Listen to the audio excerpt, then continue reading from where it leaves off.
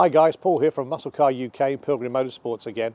What have we got for you today? We've got a 1970 Mustang 302 V8 convertible. The thing I love about these um, 1970 models is have a look at the front of it. It looks mean. If you're driving down a motorway and you see this in your rear view mirror, it has that presence about it. You feel a little bit intimidating because it has got that like shark look to it, that real big bulbous look, the powerful powerful engine that lies behind it. But yes, we just got this into stock um, in this beautiful colour, this beautiful blue, which I think really goes well with the chrome from all the rest of the car. And that's why this has obviously got American Racing chrome wheels on it as well. So it really does help the attractiveness of this car. But again, another beautiful car, rust free. If you look down the side of it, you can see it's all straight, it's all in beautiful condition. Looks great with the white interior as well. So you've got the chrome, you've got the blue, you've got the white interior.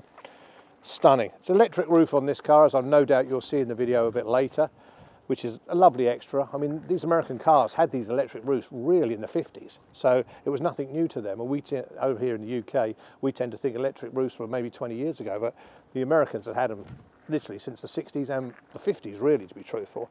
But have a look at the whole car. It really has a presence about it. It's got this lovely little uh, spoiler on the back. The, the back, back of the car is just as attractive as the front. You've got the twin pipes. You've got those fabulous, huge lights in here, which are all embedded in. When, when they come on, the brake lights, it looks absolutely stunning.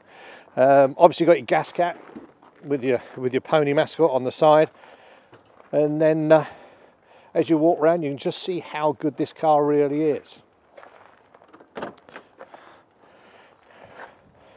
I think that's got to be one of the most attractive interiors. Obviously, it's all new carpets in there. The dashboard's all good.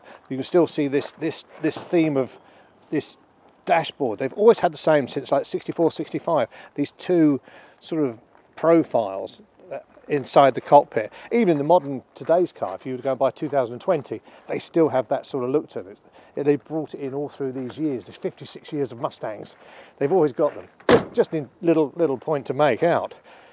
But yeah, all the chrome is good all around the windscreen, all beautiful. When the when the the, uh, the top comes up as well, it's not a difficult fix. It literally is two clips, and you're done. So it's not one of these things where you think the old cars needs to be a pain. Press the button, up it comes, clip it in, it's done. You haven't got to worry about it. So let's have a look under the bonnet because it's had a few nice upgrades. This car.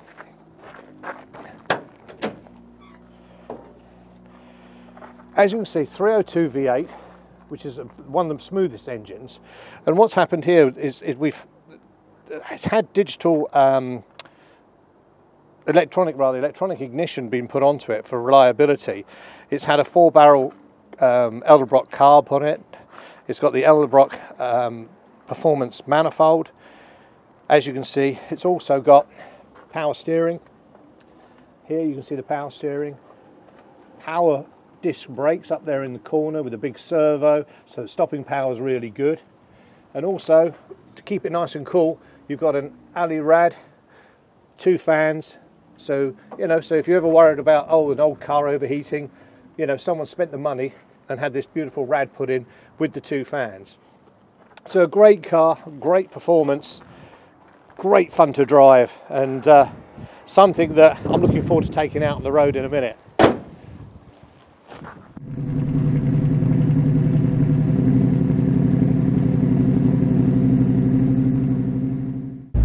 Mustang had its second facelift in 1969. I'm out today in a 1970 convertible. Uh, you may recognise from the pictures it has the more aggressive looking front end treatment. Um, once again, a lovely car. What a great car to be driving on a day like today. Uh, it's bright and sunny, although it is December, so a little chilly.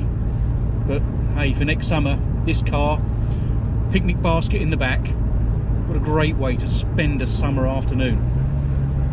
And once again, accompanied by that lovely V8 burble from the 302 cubic inch V8.